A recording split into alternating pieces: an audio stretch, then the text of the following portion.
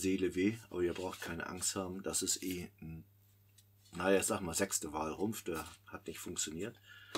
Ich hoffe, dass das klappt. Ich vermute, ganz ehrlich, dass es nicht so hinhaut, wie ich mir das vorstelle. Das heißt, so ein normales Bruchbild wäre ja entweder nur angeknackt irgendwo und meist so 5, 6 cm hinter oder 10 cm hinter der, hinter der Fläche.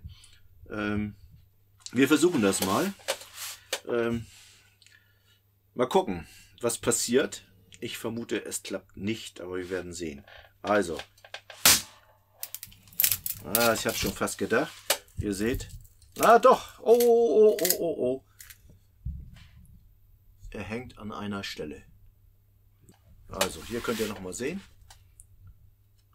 Es hat doch hingehauen.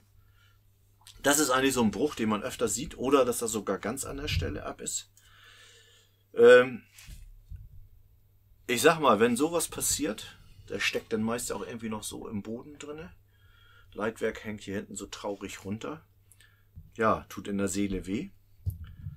Aber reparabel. Nun gibt es mehrere Möglichkeiten. Also, ich zeige da mal zumindest eine davon. Also, wenn ihr, wenn euch sowas passiert, dann ist es ja so, ähm, den Rumpf vernünftig hinzukriegen, wird sehr schwierig sein. Aber ich kenne ja die meisten Kollegen, die haben auch immer ein bisschen Sekundenkleber dabei. Ich mache folgendes. Ich drücke den hier gar nicht erst zusammen, weil oft ist es so, beim Zusammendrücken passiert noch mehr Schlimmeres. Ich schleife den hier mal eben ein bisschen an.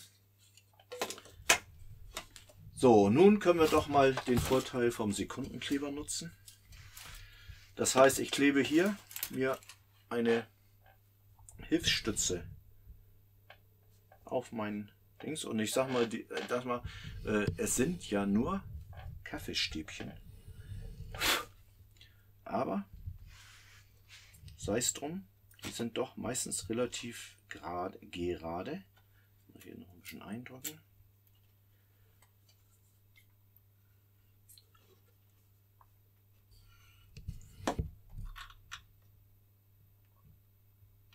Ja, wenn man jetzt noch äh, Aktivatorspray hätte, wäre es gut, aber Aktivatorspray ist aus heute. So, dann haben wir hier schon mal so einen so Stab angeklebt. Ja, ich klappe meinen Rumpf hinten hoch. So, und das in der Regel ist es so, dass die ähm, Rümpfe in der Form doch relativ gerade sind.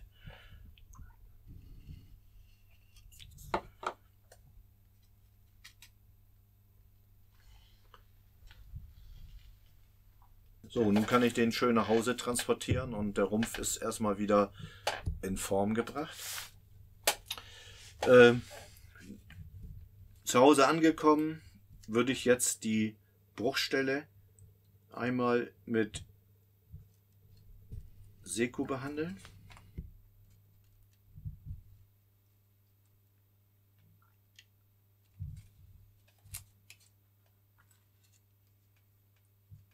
So, nun gibt es zwei verschiedene Möglichkeiten danach. Ich könnte jetzt erstmal eine Teilreparatur machen, indem ich hier links und rechts einen Rohwink ranlege, um eine Grundfestigkeit zu kriegen. Das, der Nachteil ist allerdings, dass der nicht von der Fest, also von der Auflage her nicht so gut auf dem Kohlerumpf liegt.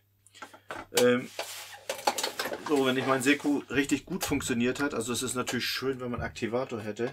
Ja, ich brauche es zu selten, deswegen habe ich keinen mehr. Ähm, oh, hier muss noch mal was rein. Also ich klebe den Rumpf schon mit Sekundenkleber zusammen.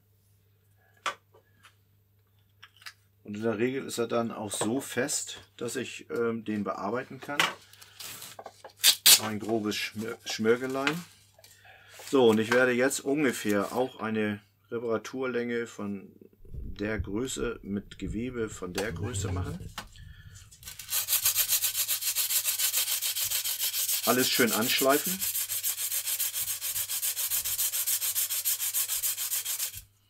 Bis wirklich der Glanz verschwunden ist. Das ist eigentlich immer wichtig. Also wenn alles schön matt ist, habe ich auch wirklich alles erwischt.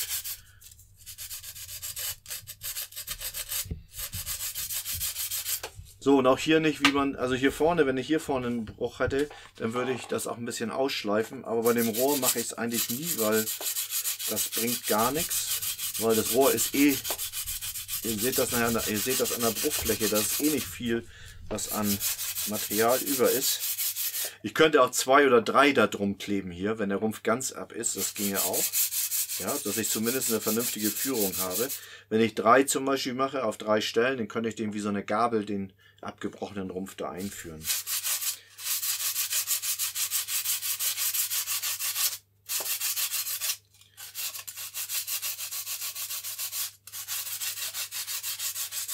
So, dann haben wir alles wieder schön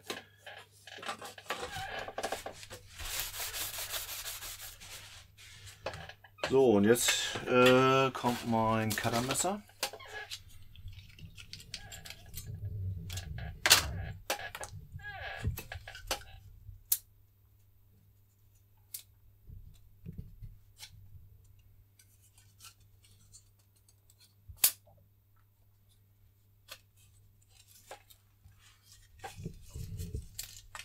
Sieht natürlich schön einfach aus, ne? Kein Seitenruder, kein Höhenruder dran.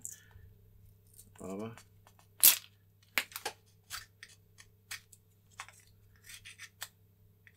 So, und ihr seht, dadurch diese Reparatur habe ich eigentlich wieder einen relativ geraden Rumpf. Schleife nochmal die Sekustelle, wo meine Hilfskonstruktion dran gesessen hat, an. So, äh, nun wäre es wieder die Möglichkeit, die Kohle-Rovings zu nehmen, aber ich möchte, wo habe ich den? Ich nehme jetzt hier mal diesen hier. Ich schneide mir hier wieder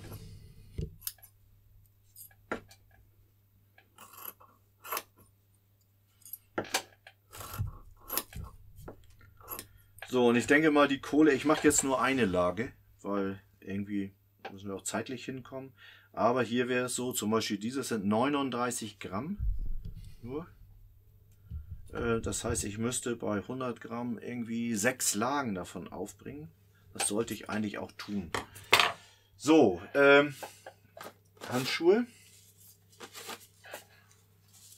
Macht Sinn.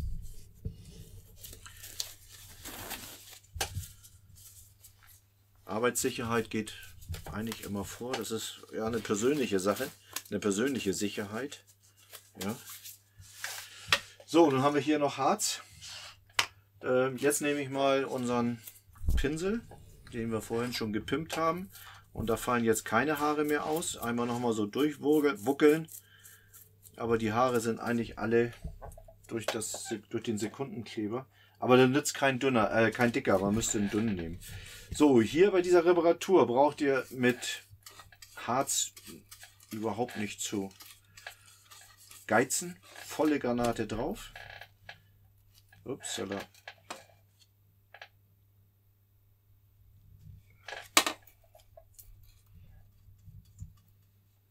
Man würde jetzt sagen, früher hat man immer gesagt, viel hilft viel. Das spielt letztendlich hier bei der Reparatur so gut wie gar keine Rolle. Das wird ihr auch gleich sehen, warum.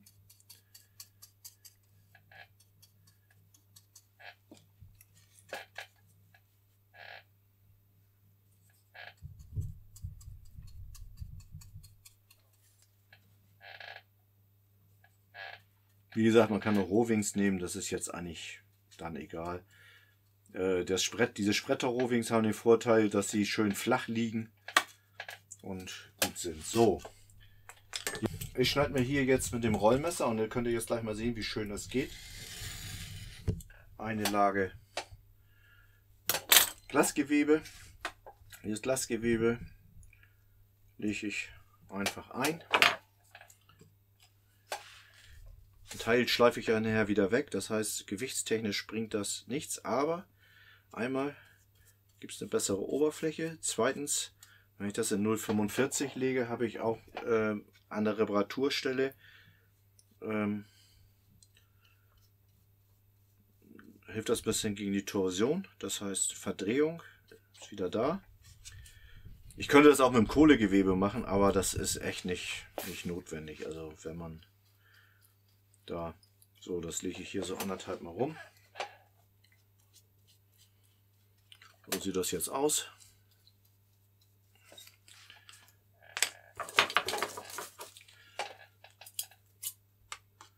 Schneid das Überschüssige ab. So, und er sagte, ah, was macht er denn da? Der trief ja alles. Das kann ruhig schön feucht sein. Und nun kommt die Wunderwaffe. Es gibt das auch noch in breiter. Ganz einfaches Geschenkband. Die Frau freut's, wenn es weg ist. Nee, natürlich nicht. Aber es lohnt sich wirklich für die Werkstatt, sich mal so ein Zeug anzuschaffen. Eine kleine Rolle hält ewig. Ähm, also diese Reparatur, die man jetzt hier so vorzeigen, die wäre auch möglich an F3J-Rümpfen äh, oder ähnliches. Ähm, das muss nicht F3K sein. Also ich denke mal, die sind ähnlich aufgebaut. Na, oh, Knoten machen. Sie. Machen wir einen zweiten rein hier.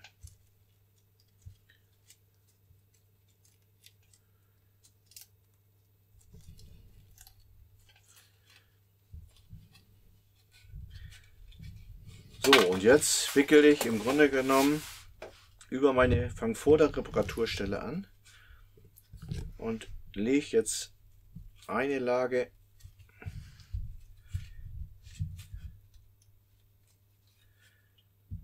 so, dass die immer auf dem auf dem Geschenkband überlappen. Und da fängt dann jetzt an, also erstmal kriege ich einen vernünftigen Verbund mit dem Rumpf. Und wenn man jetzt so weiter sieht, dann sieht man jetzt hier schon, wie das überschüssige Harz einfach vorweg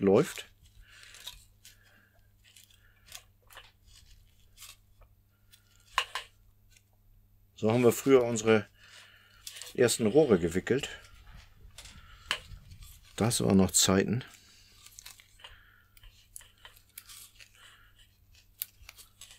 So, ihr seht, dass das so richtig rausquatscht hier. Ich drehe mal die andere Hand um, weil das... Oh, das wird jetzt auch ein bisschen schwierig, die ganze Geschichte, aber... aber man kann jetzt hier eigentlich schön sehen, wie das rausquatscht. Und das ist eigentlich das überschüssige Harz. Also mehr kann ich da eh nicht rausdrücken. Das heißt, wenn ich das jetzt trocken gemacht hätte, wäre es auch nicht besser geworden. Aber ich habe eine super Anlage an meinem Rumpfrohr. Und ihr seht, ich kann das volle Pulle ruhig ziehen, also auch meine Sekundenkleber-Ecke hält.